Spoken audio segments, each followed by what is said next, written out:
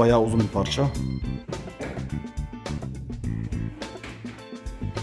O fazlaları ne yapacağız? Keseceğiz mi? Astonlar temizliğini yapıyoruz. Evet. Hani pisliklerini böyle temizliyoruz. Ondan sonra ilacımızı sürüp sıkıyoruz. Aston nedir abi peki? Ondan sonra-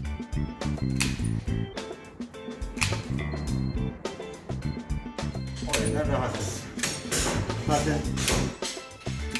şöyle yaptığım zaman da zaten ilaç akıyor.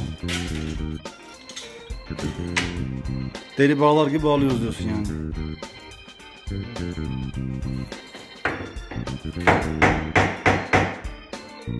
Ne oluyor? İğne yoklaması yapıyoruz. Ne oluyor? Zaten buranın imalat şu anda gördüğünüz zaman tezgahımız hiçbir şeye benzemiyor. hani temizliği olmadığı için. Bismillah diyelim.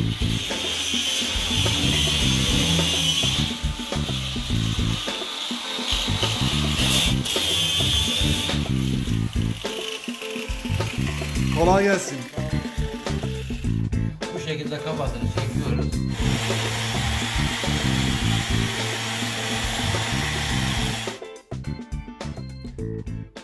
...28 Haziran 2019 tarihinden merhabalar. Arkadaşlar bugünkü videomuzda... ...burada görmüş olduğunuz mutfak dolabının üzerindeki... ...tezgahın uygulamasını göstereceğim. Nasıl monte edildiğini... ...nasıl birleşimlerinin yapıştırıldığını... ...onları izah etmeye çalışacağım.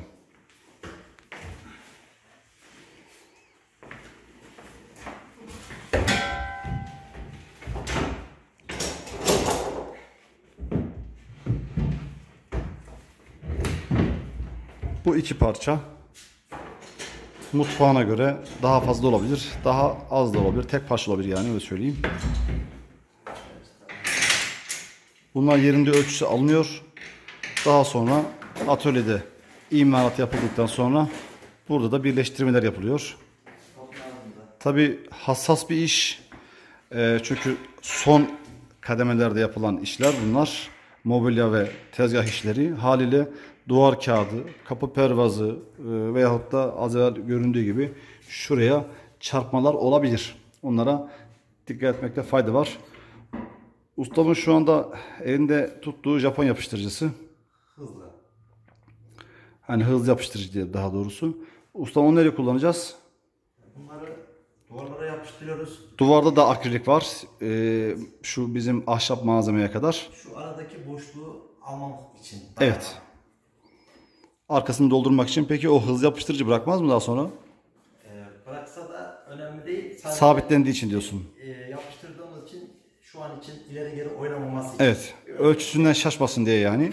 Sabitliyorsunuz o şekilde. Anladım. Benim daha önceki işlerimde nasıldı? Burada mobilya falan yoktu. Ee, biz buraya tezgah arası fayans yapardık komple. Ee, bunun da önüne tezgah gelirdi. Buna binerdi. Orada küçük bir süpürgeli olurdu şöyle kenarında. Ee, bu şekilde biz sonlardık. Bu uygulamada bu dairelerimizde ise tezgah arasının yarısı mobilya, yarısı da akrilik olarak devam edecek. Allah kısmet ederse bir gün inşallah bu malzemenin imal edildiği yere de gideceğim. Evet, ustamız bu şekilde her yeri sabitledi. Oradan bindirdi, buradan bindirdi. Yine aynı şekilde bunları da bindirecek. Şimdi oradaki tezgahı da. Ya doğrusunu söylemek gerekirse ben şimdiye kadar iki çeşit mal kullandım. Birisi granit, ikincisi bu e, bize Koryen diye gelirdi. Sanırım Koryen bunun markası. Akrilik tezgah kullanımı. Yani iki malzeme. Birisi granit, birisi akrilik tezgah. Başka onun dışında herhangi bir tezgah falan yaptırmadım. Yani e, bu MDF'den veya ahşaptan tezgahlar da var. Onları Allah'a şükür hiç yaptırmadım. Ben onları sevmiyorum zaten.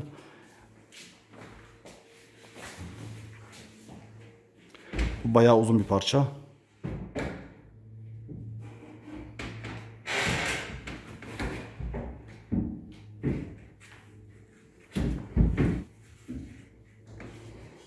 O fazlaları ne yapacağız? Keseceğiz mi?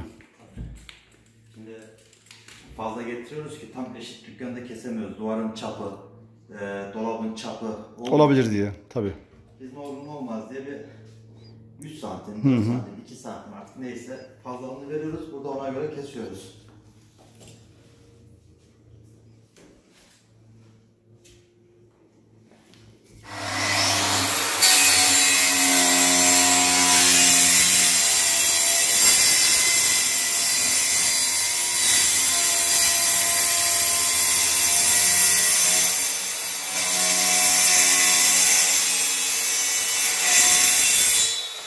En son en sürüp sıktıktan sonra bunları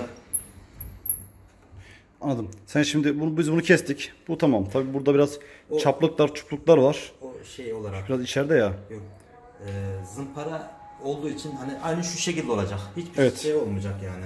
Hı hı hı. Evet. Baktığın zaman hepsi aynı bir seviyede olmuş olacak. Peki bu bileşim yerinden bırakma ihtimali ne? Yani yüzde beş ihtimal diyebilirim yani. Yüzde beş. Ya, Ya tabii biz çok yere yaptık. Birisinden sadece bir şikayet aldık. Belki o da uygulama hatası olabilir.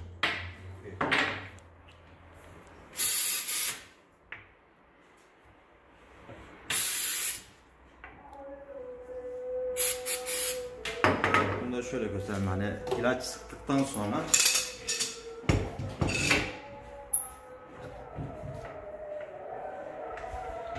sıkabilmem. Şimdi dur abi. Sen bunu ne yapıyorsun? Önce onu bize izah et. Ee, ek yerine sıkabilmek için.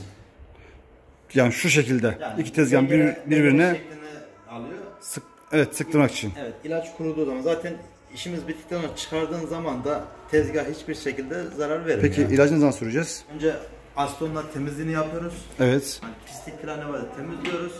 Ondan sonra ilacımızı sürüp sıkıyoruz. Aston nedir abi peki? Onu da söyle bize. Astonda bizim e, tezgahımızdaki pislikleri falan temizlemek amaçlı kullanıyoruz. Anladım. Mesela tiner kullanmıyoruz. Tiner sarartıyor buna. Hı hı. Sararttığı için genellikle aston uçucu bir madde olduğu için hemen sürdüğümüz zaman mesela buraya sürdüğün zaman peşimizden kuruyarak geldiği için Te- temizliğini yapıyorsun. Ondan sonra Evet. yapıştırıcını sürüyorsun. Yapıştırıcı dediğim malzeme de bunun kendi tozu ve kimyevi maddeleri karıştırılmış bir ürünü. Evet. Ondan sonra şu şekilde de sıktırıyorsun. Buradan oradan 3 tane de sıktırıyorsun. Bunu da buradan sıktırıyorsun. Evet. Her yönden bunu e, teraziye ve iyice yapıştırmaya alıyorsun. Evet. Ne kadar duruyor bu kadar? Ee, 10 dakika, 15 dakika, 10 dakikada iş bitiyor mu bunun? 10 dakika içinde ilaç kuruyor. Tabi yazın havalar sıcak olduğu için 10 dakika. Hı hı. Ama kışın bu yarım saate buluyor yani. Kışın soğukta geç kuruyor, sıcakta çabuk kuruyor. Peki bunları nasıl çıkartıyoruz? Ee, şöyle göstereyim onu da. Hani en son işimiz bittiği zaman hani bu işkence olur, iskarpil olur. Hani bitti. Peki buradaki Japonları nasıl söküyoruz abi? Bunlar sökülüyor mu? Yani Evet. burada ya da iz kalıyor mu diğer Yok tezgahta? kesinlikle. Şöyle söyleyeyim en basit daha temizlik yapılmadı. Bu sadece şey. Hani bunu şey yapmayın. En son zaten zımparacı yaptığı için de onları hatayı gideriyor yani. Evet, duymak istediğim buydu zaten.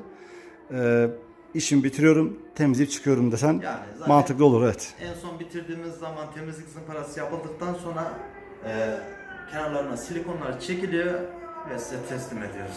Bununla önce temizliğini yapacak ustam.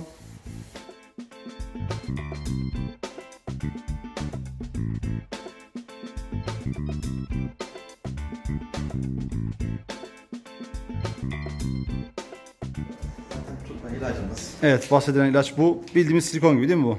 Silikondan çok çok farklı yani. Farklı yani. e, şu evet, anki yani. kullanım tarzı o şekilde. Evet.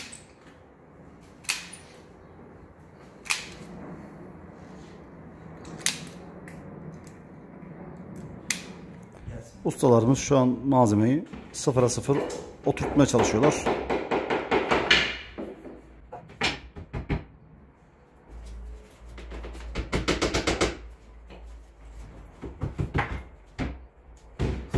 İşkence çekme şeyi. Mesela şu açıklığı düşünelim. Hı hı.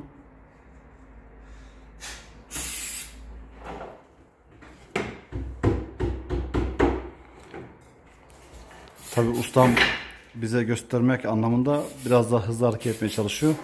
Yani o detayı da kaçırmayalım. Yani sen bu şekilde yapıştırıyorsun ve Bu şekilde sıkıyorsun ki şurada arada herhangi bir boşluk olmasın. Sıfıra sıfır binsin birbirine. şöyle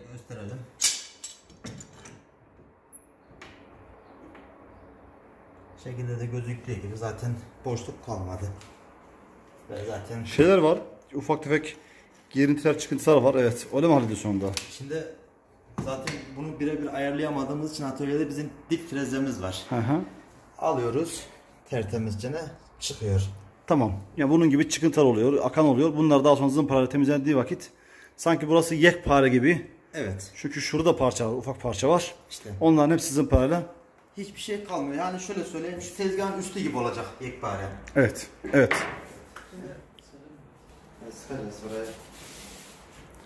Ustamız yine temizliğini yapıyor. Tamam şöyle biraz kenardan şey yap. Şu kamera da çeksin.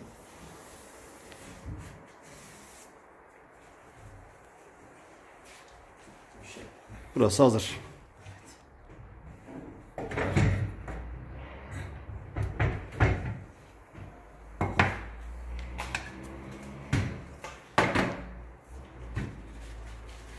Ee, onu indirmeden evvel yüzüne sıksan daha iyi olmaz mıydı ustam? Şimdi aradaki boşluk var ya. Hı hı. O yüzden böyle daha rahat oluyor. Dolabımızın kapağına ilaç damlamasın diye. Evet. Sana ilaç versene. Yani böyle yüzünden de sıkınca sanki az geliyormuş gibi hissediyorum. Yüzden sordum hani yanağına acaba sıksak daha iyi, iyi olurdu diye. Mesela pandikli geldiği için şimdi e, kapağını açıp alttan da bakabiliriz. Zaten alttan da sıktığın zaman taşıyor. Yani geri sonra ilaç azdı, atar mı diye hani sıkıntımız yok. O yönden rahatız. Zaten şöyle yaptığın zaman da zaten ilaç akıyor.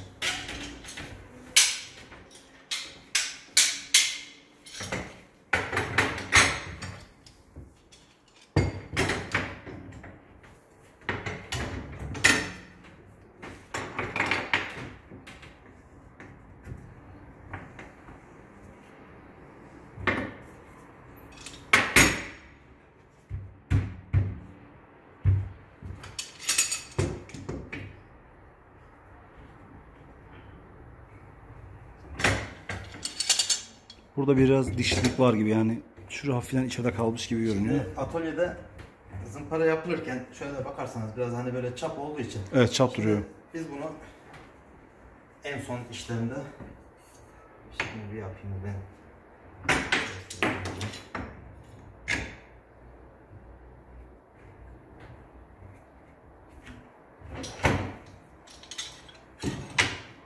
Deli bağlar gibi bağlıyoruz diyorsun yani. Şeyler de sıkıntı.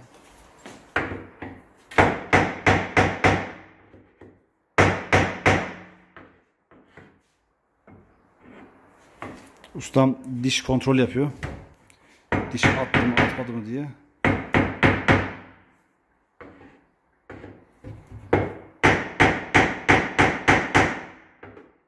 Şimdi Malzeme biraz esnek galiba. Bir taraf diş attırıyor, bir taraf atmıyor.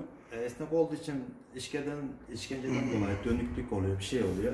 Ustam benim kanaatimce şunları sıkmadan evvel şunu yapsaydın daha kolay teraziye gelmez miydi? Şunları da sıktığı için şeyler bırakmıyor. Hemen biraz e, birbirini bırakmıyor, diş atıyor diye düşünüyorum. Şeyden değil, e, bu yani şu, bu da iğnemiz. Tamam. Sonuçta hani sunta kesme kırıyor, bilmem ne oluyor. Bir iğne yoklaması yapıyoruz. Ne oluyor? Yani e, açık falan kalırsa şayet Ha? onları gideriyoruz. Zaten de yok. İçine mi giriyor? Aha. Hmm. Yani kendi malzemesi olduğu için ve şunu senin şuradaki o diş dediğin şeyi bizim mastarımız. Hani bu tezgahta yapıyoruz. Eğer çap varsa zaten o çapını kesiyoruz. Hani zımparayla da düzeltiyoruz yere. Evet. Hani aynı bir yekpare şekilde. Yani bu işlem bittiği zaman gayet güzel, hoş bir görüntü olacak. Evet. Zaten bura bizim imalat. Şu anda gördüğünüz zaman tezgahımız hiçbir şeye benzemiyor. hani temizliği olmadığı için. Zımparacı ustalarımız da zaten onları halletmişler. Çıkınca da kendiniz de görürsünüz. Gayet güzel.